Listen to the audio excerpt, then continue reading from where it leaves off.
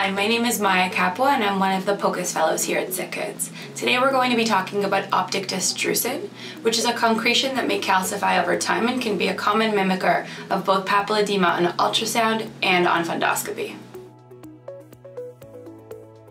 The prevalence of clinically evident optic disc drusen is about 0.34% in the population, but may increase in families that have a genetic predisposition to this.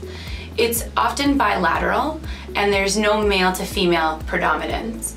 It's more commonly found in Caucasian individuals rather than African American individuals. There's a higher predisposition of having optic drusen in certain genetic conditions such as retinitis pigmentosa, Alagille syndrome, Usher syndrome, and several other conditions as well.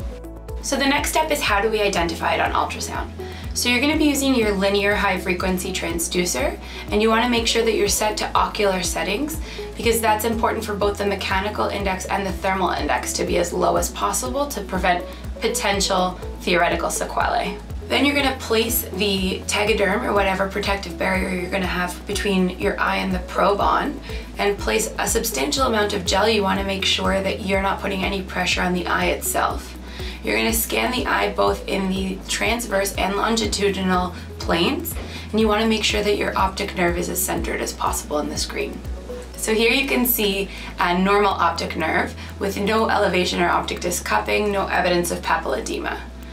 The next one that you're going to be able to see is one that is positive for papilledema where you see that hump on top of it, uh, which would be concerning for increased intracranial pressure. The last one that you see here is the optic disc drusen. So you have a similar hump, but in the center you have this hyperechoic area uh, that goes all the way down to the core. And this is consistent with optic nerve drusen. So why does this matter? How does this change our management?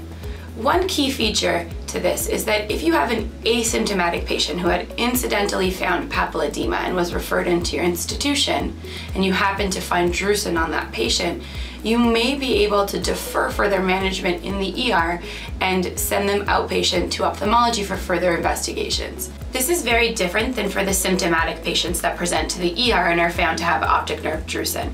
It's very difficult to differentiate papilledema with drusen versus drusen with no papilledema.